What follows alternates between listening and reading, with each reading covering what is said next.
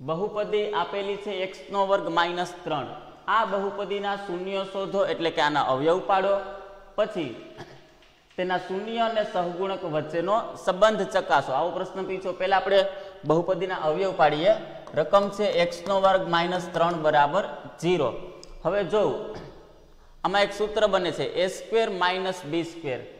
તો એક્સ નો વર્ગ માઇનસ રૂટ થ્રીનો રૂટ થ્રી એનો વર્ગ કરીએ. તો હવે સૂત્ર બની ગયું A square minus B square હોય તો કેમ લખાય? એ ઓછા બી એ વત્તા બી તો હવે X square minus root three X આનો વર્ગ હોય તો કેમ લખાય? X minus root three X plus root three આ બેયનો ગુણાકાર ઝીરો એનો મતલબ બેમાંથી કોઈ પણ એક ઝીરો જો એક્સ માઇનસ રૂટ થ્રી બરાબર ઝીરો અથવા તો એક્સ પ્લસ રૂટ થ્રી બરાબર ઝીરો એક્સ બરાબર વર્ગમૂળમાં ત્રણ અને એક્સ બરાબર માઇનસ વર્ગમૂળમાં ત્રણ. હવે, અવયવ પડી ગયા. એક છે વર્ગમૂળમાં ત્રણ અને બીજું છે માઇનસ વર્ગમૂળમાં ત્રણ. હવે, આ બહુપદીને એ એક્સ નો વર્ગ plus B X plus C સાથે સરખાવવામાં આવે તો એ બરાબર, આનો સહગુણક કેટલો છે?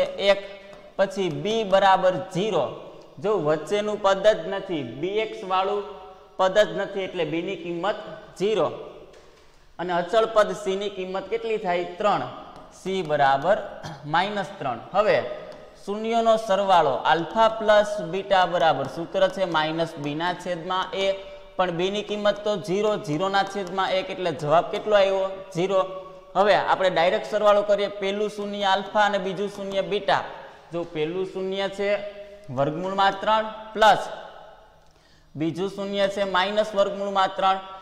રૂટ થ્રી રૂટ થ્રી જાય, શૂન્યનો સરવાળો કેવો આવ્યો ઝીરો આ બે જવાબ કેવા છે? સરખા. હવે, શૂન્યનો ગુણાકાર કરીએ. ખાસ ધ્યાન દેજો. શૂન્યનો ગુણાકાર મેળવવાનું સૂત્ર આલ્ફા ઇન્ટુ બીટા સીના છેદમાં એ. સીની કિંમત કેટલી છે? માઇનસ ત્રણ અને એની કિંમત એક. એટલે જવાબ આવ્યો માઇનસ ત્રણ.